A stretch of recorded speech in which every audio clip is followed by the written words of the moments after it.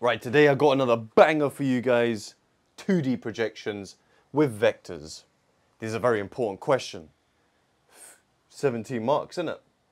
Here, there's no funny business in terms of it being a previous further maths concept. Here is just straight normal maths.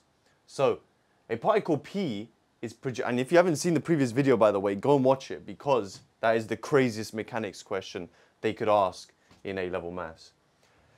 So a particle P is projected from a fixed point O on horizontal ground with velocity u bracket i plus cj meters per second, where c and u are positive. The particle moves free under gravity until it strikes the ground at A, where it immediately comes to rest.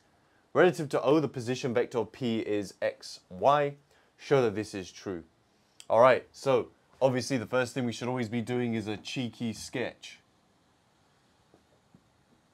Now, the beautiful thing about vectors or things given in vectors is they've already given you the components, okay? So they've said u, i plus cj. Now, do not be fooled. Students get fooled by this all the time. They have said u as well. So students say 1c, but it's u, uc.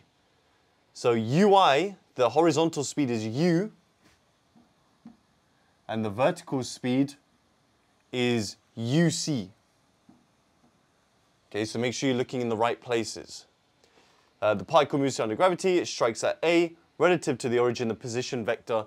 So the general position vector is xy. Okay, very simple diagram. But they want you to find this. Now, when I see stuff like this, y in terms of x, I'm thinking Cartesian equations. But I already know these are represented parametrically as we discussed in the last video, right? So here's my vert, here's my horiz, so you're going to write suvat. And horizontal's distance is speed times time. So generally, the vertical distance above where we have been projecting from is y. Why? The vertical speed is uc. We don't know the velocity generally. We have minus g and then capital T. Remember, we're going to write down the parametric forms. Here, the horizontal distance is x, the horizontal speed is u, and t is the same no matter which dimension you're looking at. So here we can clearly see t is x over u, which, as I explained again in the previous video, this is why it's such an important video. This is quite key to basically everything, okay? So this we might need to store. I mean, you could derive it very quickly from from uh, first principles again. Here we have S is ut plus half at squared. So S is ut plus half at squared. S, which is y, is the initial speed, which is uc. T, I'm just going to replace it now. x over u. Half of a, half of this is minus g over 2. t squared. When you square this, you get x squared over u squared. Here the u's cancel. And G, they've used as 9.8. They've halved it to give you 4.9. And you can see that gives you the answer, x squared, u squared. There we go. See, when you've done it once or twice, it's actually really easy, this stuff. Famous last words, all right? So that's been shown. It is here, so I'm going to rub it out and um, rub this all out. This t is x over u. I'm actually going to put it here. Because as I have shown countless times, it is a mucho importante equation. So we have from part A, y is cx minus 4.9 x squared over u squared. Part BI. Given that u is 7, might as well do that, right? If u is 7, that's 49. 4.9 over 49 is 1 tenth, so 0.1, right? Yeah. Let me just replace that. Might as well. 0 0.1.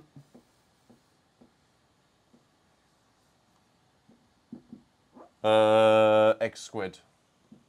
So there you go. There's your equation of the quadratic, the negative quadratic. So u is u is 7, OA is r. So this horizontal distance here is r. And the maximum vertical height of P above the ground is h. So here we have h.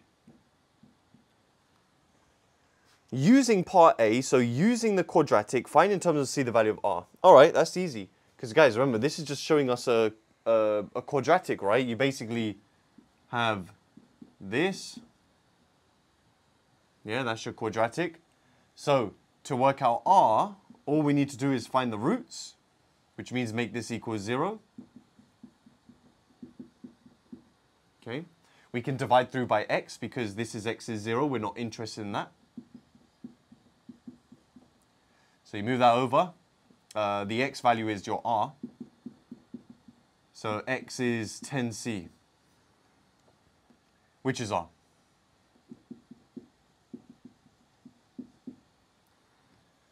Cool. How do we use that to work out h?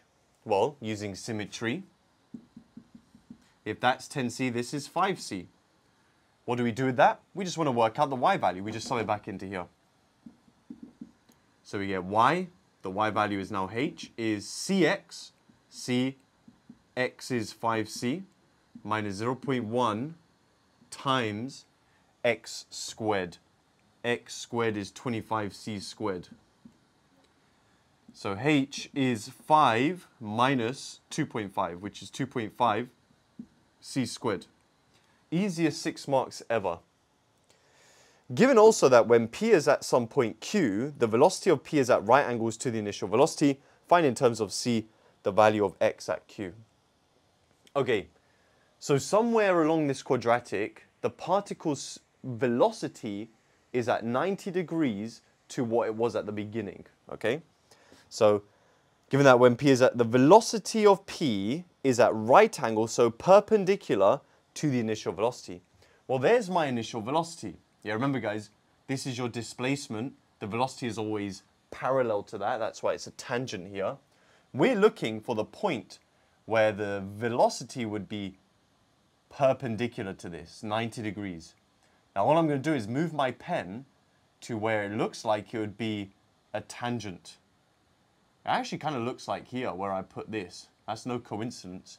Well, no, it is a coincidence. Is it no coincidence or coincidence? So we have that it's about here. I'm just going to label that as being my Q.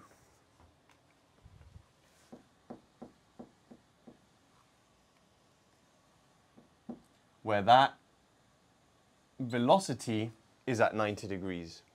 Now, what do we already know here? I already know it's horizontal speed because that can't change, right? It must be u.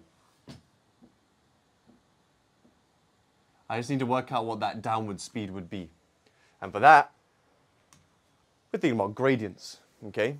So negative reciprocals and all that, yeah? Perpendicular, this is looking like up over across, gradients, negative reciprocals. So the initial velocity, uh, what am I writing, part C?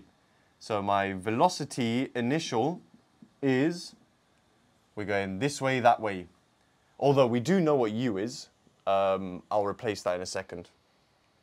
So the initial horizontal speed is u, and then uc. So the velocity uh, perpendicular will be reciprocate, make one of them negative, okay? Now I already know the, the y value is the one that should be negative, so I'm going to switch it, uc, and then u, but the y one needs to be negative. Now, this is not technically correct. Why? Because I just told you guys that the horizontal speed needs to be maintained at u. So all we need to do is scale this so that this says u because we know that like when it comes to gradients, if you have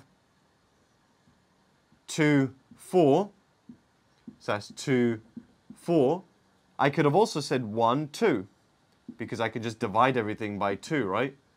1, 2. So you can scale these to get parallel vectors and especially the parallel vector which is the one that makes this makes sense in terms of our situation. So that we have to times by 1 over c. So the this cancels. We get the velocity perpendicular is u and minus u over c. Nice. So what we're we trying to find? We're trying to find the value of x at q. Okay, the value of x at q, we want to find the horizontal distance here. So the value of x means the horizontal distance. Okay. How do we find that horizontal distance? Well, if you think about it horizontally, we have distance is speed times time. Horizontally, the speed is fixed at u. So it means we need to work out the time. But the horizontal is not going to help us work out the time because it's the horizontal that we're trying to find the time for. so we need to focus on the vertical and find the value of time.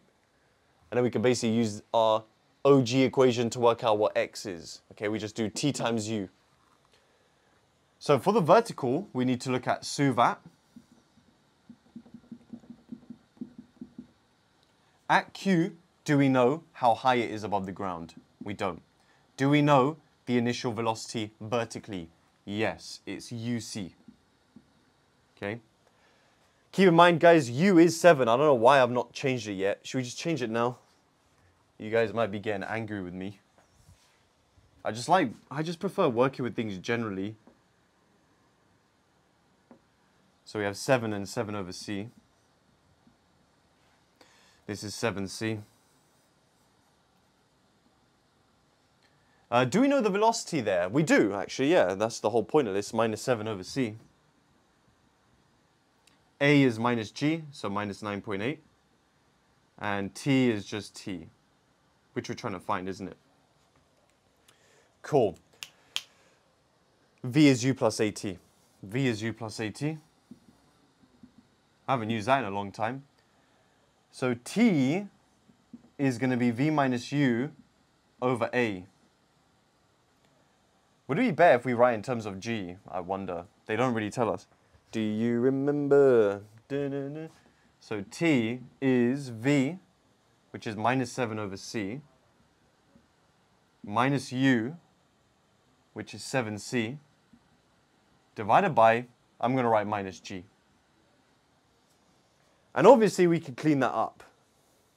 All the negatives cancel. Times top and bottom by c. So we get t is 7 plus 7c squared over cg. Yes, that's me timesing everything by c to get rid of that denominator. And then I guess you can factorize out 7 uh, should we just do that? So we get 7, 1 plus c squared all over cg. And then we can now work out x. x is ut, where u is 7 now. Yeah, u was 7. So therefore, x, x is 7 times 7, so 49 over G. But that does that that gives me a nice number, surely. 49 divided by 9.8 is 5. So this 7 squared over g gives me 5. 1 plus c squared all over c. And that is my answer. Again, a very, very tricky question. Okay? So it's very important, guys, that you save this video and you check out the video from yesterday. So many skills being practiced here. But guys, if you learned something today, I really appreciate if you hit the like button, subscribe for more maths content, and if you're interested in my A-level maths courses, more details are in the description, and feel free to join the Lun Gang Reddit page if you want to submit your own questions and get feedback from the community. Link to that is in the description. I'll see you in the next video. Nice one, White.